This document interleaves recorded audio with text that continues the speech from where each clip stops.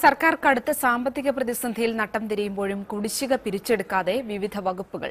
ജല അതോറിറ്റി പിരിച്ചെടുക്കാനുള്ളത് അയ്യായിരത്തി അഞ്ഞൂറ് കോടിയിലധികം രൂപയാണ്. ഇതേ ജല അതോറിറ്റി കെ സി ബിക്ക് ആയിരത്തി ഒരുന്നൂറ്റി എഴുപത് കോടി നൽകാനുമുണ്ടെന്ന് വിവരാവകാശ രേഖകൾ വ്യക്തമാക്കുന്നു. രണ്ടായിരത്തി പതിനാറ് പതിനേഴ് മുതൽ ഈ സാമ്പത്തിക വർഷം വരെ ജല അതോറിറ്റി പിരിച്ചെടുക്കാനുള്ള കുടിശ്ശിക അയ്യായിരത്തി അഞ്ഞൂറ്റി അൻപത്തിനാല് കോടി രൂപയാണ്. നോൺ ഡൊമസ്റ്റിക് ഉപഭോക്താക്കളാണ് ഏറ്റവും അധികം തുക നൽകാനുള്ളത്. നാലായിരത്തി ഇരുപത്തിരണ്ട് കോടി രൂപ. ഗാർഹിക ഉപഭോക്താക്കൾ ആയിരത്തി നാനൂറ്റി ആറ് കോടിയും നൽകാനുണ്ട്. വ്യാവസായിക ഉപഭോക്താക്കൾ നാൽപ്പത്തി ഒൻപത് കോടിയും. സ്പെഷ്യൽ കാറ്റഗറിയിൽപ്പെട്ടവർ എഴുപത്തിയഞ്ച് കോടിയും കുടിശ്ശികയുണ്ട്. ആകെ അയ്യായിരത്തി അഞ്ഞൂറ്റി അൻപത്തിനാല് കോടി. ഇതിൽ സർക്കാർ സ്ഥാപനങ്ങൾ മുന്നൂറ്റി അൻപത്തി ഒന്ന് കോടിയും.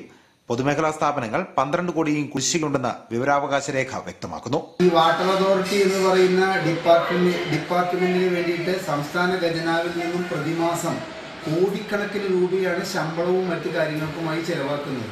അതേസമയം വാട്ടർ അതോറിറ്റി പിരിച്ചെടുക്കേണ്ടതായിട്ടുള്ള കുടിശ്ശിക പിരിച്ചെടുക്കുന്നതിൽ സർക്കാർ ജീവനക്കാർ കാട്ടുന്ന അല്ലെങ്കിൽ വാട്ടർ അതോറിറ്റിയുടെ ജീവനക്കാർ കാട്ടുന്ന അലംഭാവം എന്തുകൊണ്ടാണെന്ന് മനസ്സിലാവുന്നില്ല. ഇത് വളരെയധികം അപലപനീയമായിട്ടുള്ളൊരു കാര്യമാണ്. ശതകോടികൾ പിരിച്ചെടുക്കാൻ മടിച്ചു നിൽക്കുന്ന ജല അതോറിറ്റി പുതിയ കണക്ഷനുകൾ നൽകുന്നതിലടക്കം അലംഭാവം കാട്ടുന്നതായും ആക്ഷേപമുണ്ട്. മനോരമ ന്യൂസ് കൊച്ചി.